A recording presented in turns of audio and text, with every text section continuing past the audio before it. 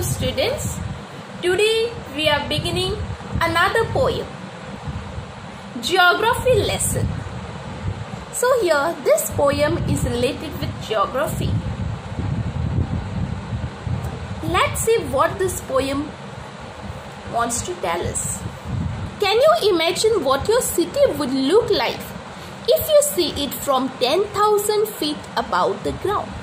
So here the poet Zulfikar Ghose. He, he asks us a question. Can you imagine what your city would be if you look from 10,000 feet above the ground? Neatly planned, perfect in proportion like a geometric design. So he says that it would be like neatly planned, perfect in proportion in parts, okay, like a geometric design. It would strike you as something very different from what it actually is while are in the thick of it. Thick of it means when you are in the middle, when you are down, and when you see how it is. And when you are going to see it from the top, you will find it really very different. Here is a poet's description of just such a view of the city and some questions that come to his mind. So here the poet he has given us a description of a city which he views from 10,000 feet down. And there are some questions which come in his mind. Let's see what the poet uh, sees and how he describes the city. When the jet sprang into the sky, it was clear why the city had developed the way it had. Seeing its scale 6 inches to the mile. So here the poet says that when the jet sprang, sprang means moved, okay, up into the sky, it was clear to him why the city was developed like that. That is, it's when its scale six inches to the mile. There seemed an inevitably about what on ground had looked absurd, unplanned, and without style when the jet sprang into the sky. So he says that there seemed inevitably, inevitably unavoidable. So on the ground, whatever you can see that everything is absurd, okay, not in a plan, okay, and you can see that everything is full of mess, not in very stylish way. But when you, when I sprang in the jet, sprang high into the sky, I could see that everything was planned in a proportion. When the jet reached 10,000 feet, it was clear why the country had cities where the rivers ran and why the valleys were populated.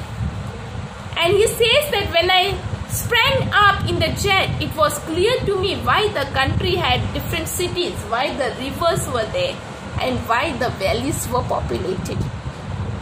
He got the answer to all these questions.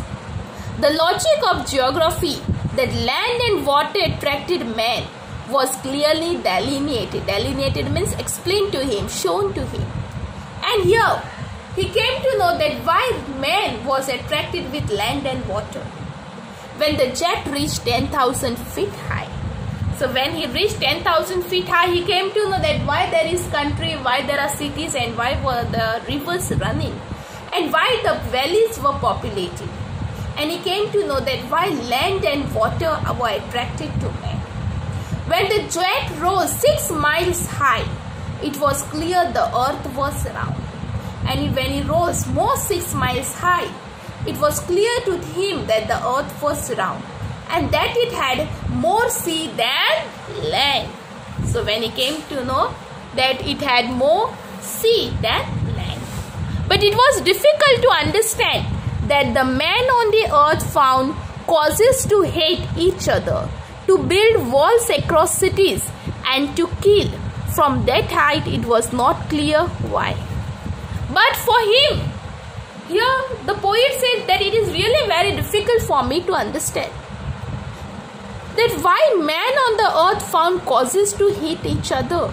That why man is on the earth having different causes to hate each other why it, ha- why it has to build wall across cities and to kill during the war and from that height it was not clear why so from the height above we could see the whole land was one, the whole water was one.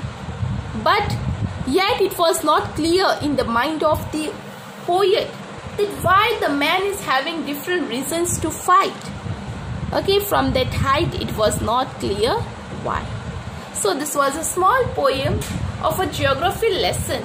Here the poet wants to say that man created walls and man has divided the land. God did not divide the land. Man has built different walls and it is the man who is fighting for no reason. That's it. I hope you all have understood this poem well.